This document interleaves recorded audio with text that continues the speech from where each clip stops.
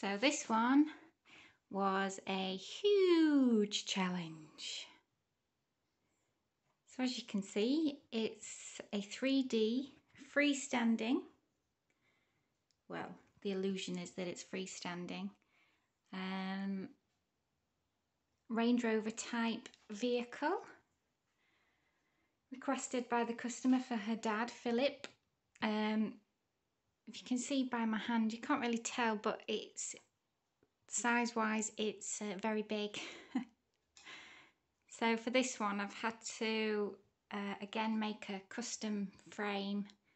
So the board at the bottom um, and then a board that the cake actually sits on is then, if you can see underneath, we've got four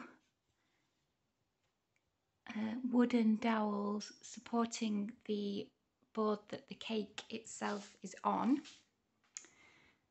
And then I've built the cake up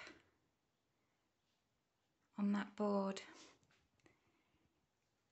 I hate doing 3D car cakes because the shape of the body and the wheels and everything has to be spot on to get it to get it to look right um, I'm pretty pleased with how this one's turned out. It took a lot of blood, sweat and tears and I won't be doing another one in a hurry. But the whole of the the, the cake is, um, the whole of the car is cake. There's no internal uh, board or anything so you can cut right into it. Everything's edible. The wheels are made out of fondant and just stuck on with some royal icing. Um, you can see the detail in the uh, in the tire itself. Then we've got these side bits which are fondant, spare tire at the back. It took a lot of patience uh, and then all the little details, the lights, everything, the personalised number plate. And if you get it just at the right angle, like that say it looks like it's sort of supporting itself. So yeah. I had um I'll just show you. I had pictures the whole time I was doing it right by my side of um, a similar vehicle to work from just to make sure I was following the body shape and getting all the details on that makes it look like that specific vehicle. So um, I covered it all in blue fondant and then put the top on because the, this particular vehicle had a, a white roof.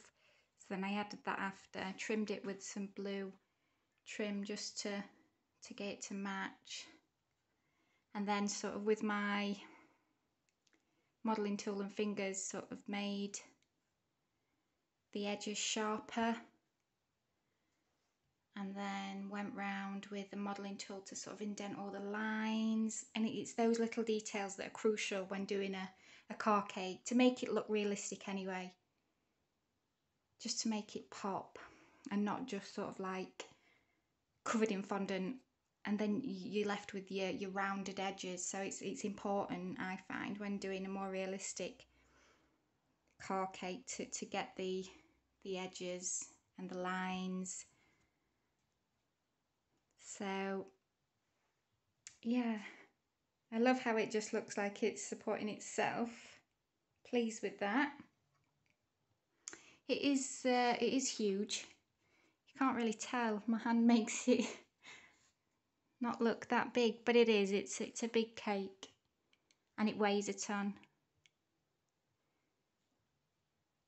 Spare tyre on the back, so I just did five tyres, all the same. You can see I've put the, uh, the tyre marks on the outside. It's all the little details I find, the little bits that brings a cake like this to life getting as much detail on as you can without going crazy. So yeah, that's that's my 3D freestanding car cake Range Rover type vehicle. I've just decorated the board with um, thin, thin sheet of fondant and then just gone over with some edible paints, a bit of black and a bit of brown to make it look like it's just parked up on a dirt road. I could have gone to town with some sort of greenery and some rocks and what have you, but I think I think a cake like this speaks for itself. So I didn't want to go too mad on the on the board decoration. Plus, I'm exhausted. I don't think I had it in me to to sit and do any more detailed work. This is my second or third um, 3D realistic. I think it's my second uh, realistic vehicle cake. The other one I did was um, the first ever one I did was a uh, motorbike and that was easier because motorbikes are sort of rounder, aren't they? There aren't the the sharp edges. So that was that was that was a walk in the park compared to this one. But it's done and overall I am happy and I've learnt a few lessons in the world of sugarcraft and cake making with this one. Can't wait till the customer sees it. And I'm just so glad I'm not there to see them cut it because that would just be soul destroying. so there we are.